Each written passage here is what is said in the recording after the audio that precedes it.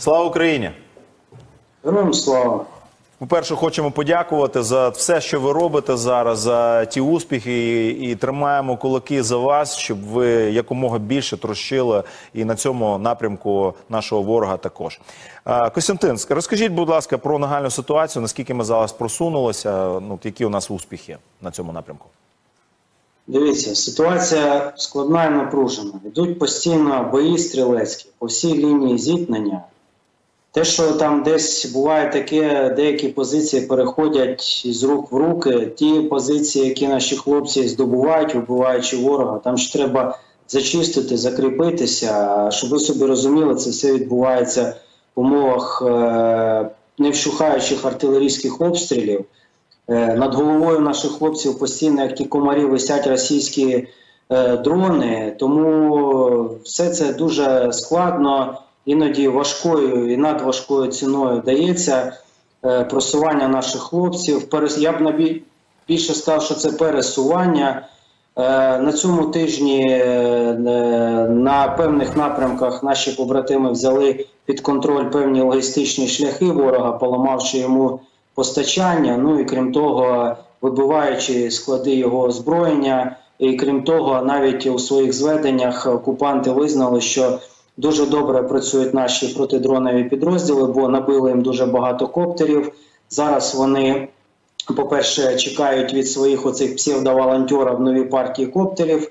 Ну і шукають, шукають собі підкріплення, тому що наші дуже грамотно відпрацювали, але е, це на певний період затища. Треба відда- ну, сказати прямо, що у росіян дуже багато дронів, безпілотників, різноманітних, в тому числі дронів камікадзе, fpv дронів, які вони е, постійно використовують для протидії нашим хлопцям і для атак, наприклад, на ті позиції, які наші побратими займають після боїв, або атак на нашу техніку. Хоча е, бували випадки, коли вони декількома дронами ганялися за нашими БМПшками і так і не змогли їх підбити, тому що пацани там просто чудеса віража е, показували, красавчики. Але це я ж кажу, це зайвий раз говорить про те, що будь-яка техніка, навіть західна, вона звичайно залізяча, без вправних рук наших козаків, наших українських побратимів, ЗСУ, Нацгвардія, прикордонники, добровольчі батальйони.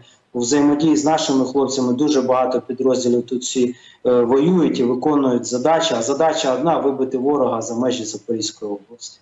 Костянтин, дякую. А скажіть, що більше всього? Ну, ми, ми пишаємося взагалі е, нашими бійцями на всіх напрямках і на вашому безпосередньо. Знаємо, що звичайно без рук, без мозку, без ніг, без е, вправності, рухів, без вправності, злаженості роботи наших бійців е, і спецпризначенців, і всіх, всіх, всіх, звичайно, цього б не відбулося. Будь-яка техніка, просто о, купа заліза, ми це розуміємо. Але якщо ми говоримо про цю купу заліза, чого зараз не вистачає більше всього нашим хлопцям, чого б хотілося, скажімо так. Ну, технічно, опять же, тих же самих дронів не вистачає. Це раз. По-друге, ми стикнулися з тою проблемою, що е, немає жодних державних програм підготовки операторів дронів.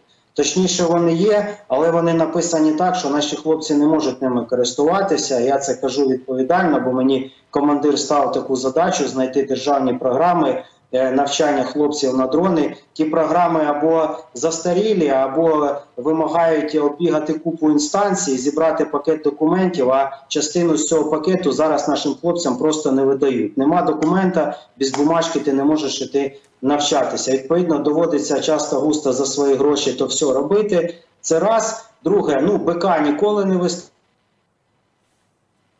Невеличка у нас Вистачає а, прийти. все, Технічна е, невеличка технічна проблема. Зараз Костянтин повернеться до нас, я так розумію. Ну ви всі почули, поки ми зараз дозвонюємося зараз знову до Костянтина. Ви розумієте всі на що треба скидатися. Дрони це в пріоритеті номер один.